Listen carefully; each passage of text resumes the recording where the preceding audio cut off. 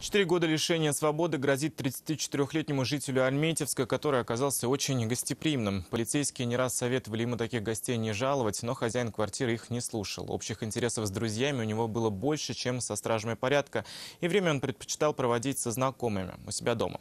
Так было и когда полицейские снова зашли к нему на огонек. Динара Камалова расскажет, что они там увидели. Четыре пакета получается. Мак кондитерский 200 грамм. Ингредиенты кондитерских изделий продаются в каждом продуктовом магазине. Пустые бутылочки из-под ацетона, вата, шприцы. По отдельности ничего противозаконного. Но вместе верный признак употребления наркотиков. В этом своем предположении полицейские в очередной раз не ошиблись. Что в квартире сделали сегодня? Употребляли Что употребляли? семечки мак.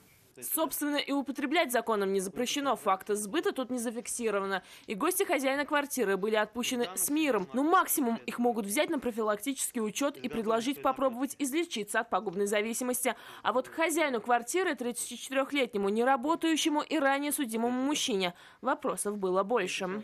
До этого вы задерживали уже сотрудник полиции? Вам сколько раз вас задержали? Два. Два раза задержали вас здесь, да? Вам вносили два раза предостережение, да? Предупреждения тут бесполезны, решили стражи правопорядка и стали действовать более доходчивыми методами. В отношении задержанного возбуждено уголовное дело по признакам преступления, предусмотренного частью 1 статьи 232 Уголовного кодекса Российской Федерации. Если суд с подозреваемым будет строг, то 4 года мужчина не сможет принимать у себя гостей, даже дорогих. Разве что за исключением положенного для отбывающих наказания в местах лишения свободы ограниченного числа свиданий. Динара Камалова, ВЗ-112.